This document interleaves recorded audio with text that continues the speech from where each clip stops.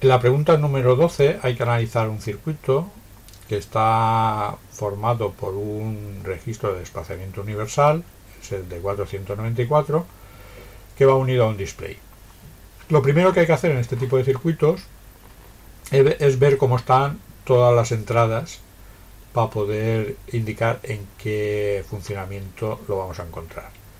S0 tiene un 0, S1 tiene la negada, un 1, este 1 también va al master reset, por lo tanto no se produce nunca master reset, el reloj está aplicado al CP correctamente, el Q3 con una negación va al DSR, luego aquí entrará Q3 negado y el Q0 negado entra a el DSL y con esto ya lo tenemos todo.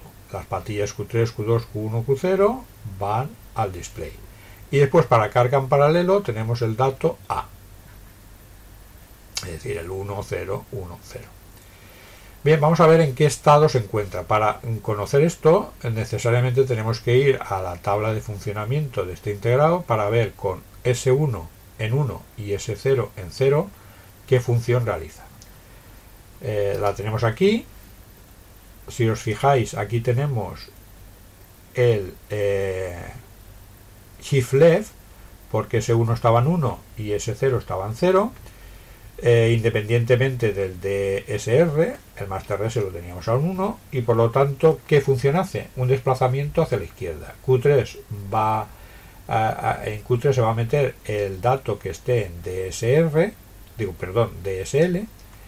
Si hay un 0 habrá un 0, si hay un 1 hay un 1 y después el, estado de Q3 pasa a Q2, el Q2 a Q1 y de Q1 a Q0 y Q0 se pierde.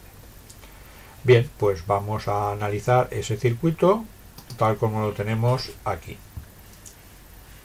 Me voy a esta parte y vamos a colocar exactamente las variables de salida, el Q0, Q1, Q2 y Q3 y el DSL. El DSL hemos dicho que era Q0 negada.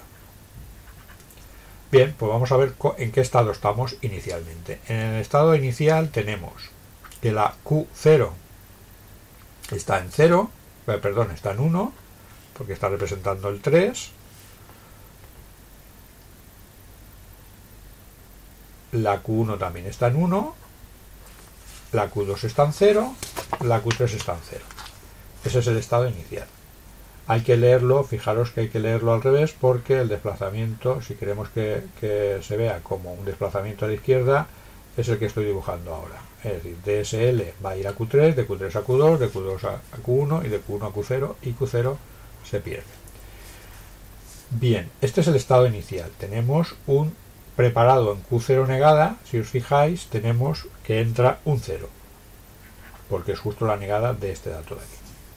Bien, en el primer impulso del reloj, este 0 pasará aquí, este 0 pasa aquí, este 0 aquí, este 1 aquí y ese 1 se pierde. Por lo tanto, tendríamos 0, 0, 0, 1.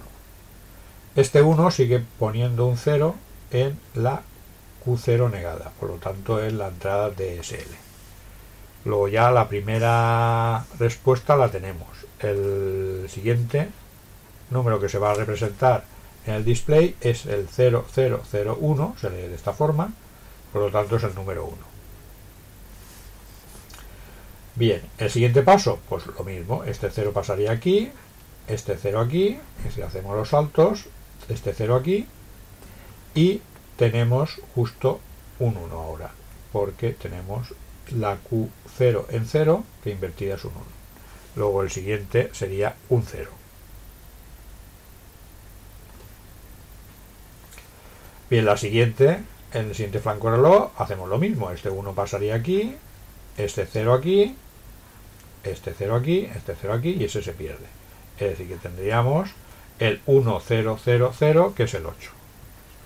Aquí estaría contestada la pregunta pero podríamos seguir, es decir, este 0 ahora sigue estando un 1 aquí, iría metiendo unos, el 1, 1, 0, 0, estaría la C y así sucesivamente. ¿Hasta dónde? Pues hasta que tuviera el estado o que llegáramos al estado de que los unos regresaran por aquí.